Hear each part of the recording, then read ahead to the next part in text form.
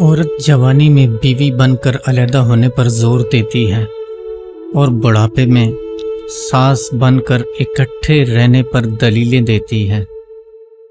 जिस तरह जिसम बीमार होने पर खाने की लज्जत का जायका नहीं ले सकता, इसी तरह दिल गुनागार होने पर इबादत का मज़ा नहीं चख पाता। पैसा इंसान को ऊपर ले जा सकता है, लेकिन इंसान पैसे को ऊपर नहीं ले जा सकता। हमारे मुआशरे का एक अलमिया ये भी है कि औरतें इसलिए पर्दा नहीं करती कि मर्द अपनी नज़र झुका ले और मर्द अपनी नज़रें इसलिए नीचे नहीं करते कि औरत पर्दा कर ले।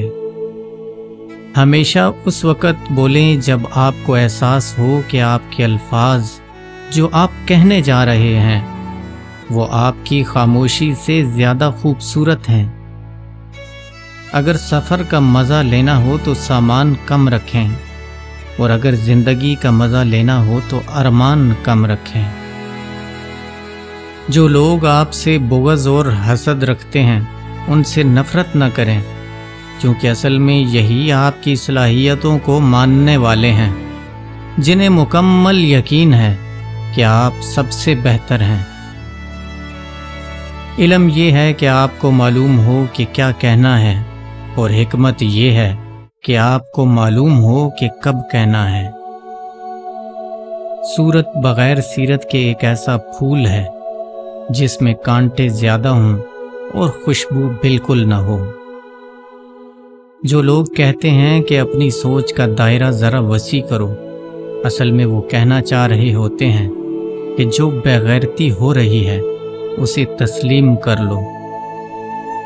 कचरे में फेंकी गई रोटियाँ यही बयान करती हैं कि इंसान अपनी औकात और अपने रब को भूल जाता है।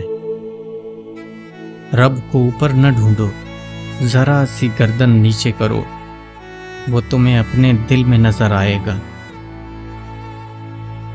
फैसलों से पता चलता है कि आप कौन हैं।